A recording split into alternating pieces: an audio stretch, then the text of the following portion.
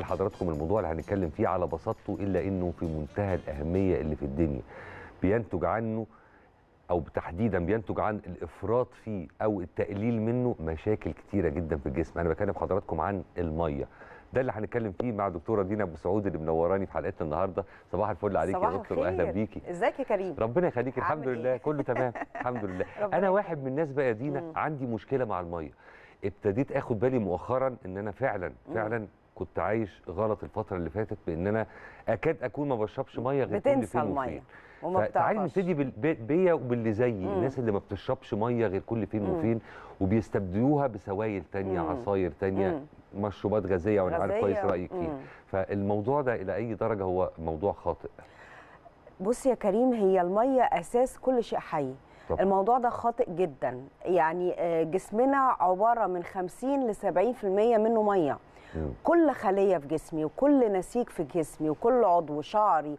آه، جلدي بشرتي أعضائي كلها محتاجة مية عشان تؤدي آه، وظيفتها المية مهمة لحاجات كتيرة جدا من من أهم فوائد الميه إنها بتعمل حاجة اسمها ديتوكسيفيكيشن هي اللي بتطرد السموم من الجسم. لو ما شربتش ميه كويس السموم هتفضل موجودة في الجسم وبتعملي مشاكل. آه، الميه آه، ب- ب- بتعمل على سرعة معدل الأيض. ناس كتير مش عارفة كده.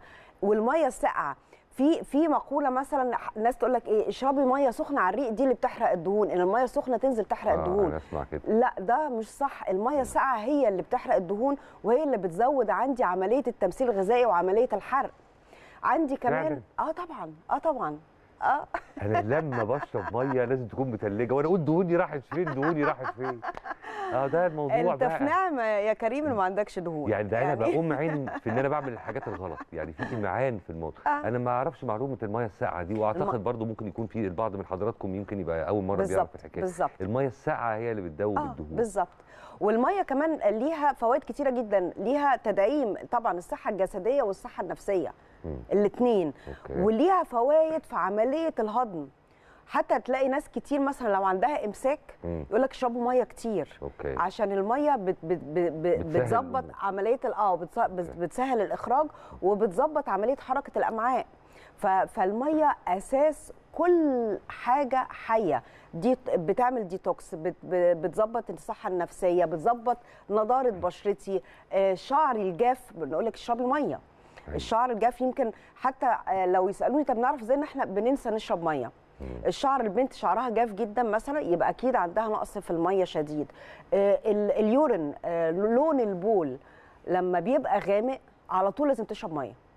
ليه؟ دي دي إشارة لإيه؟ ال- دلالة ال- على إيه؟ لون البول لما يبقى غامق يبقى إحنا بنشرب أقل من 2 لتر آه، مية في اليوم. هو المعدل الطبيعي للستات من 2.5 ل 3 لتر في اليوم. الرجالة؟ أكتر شوية.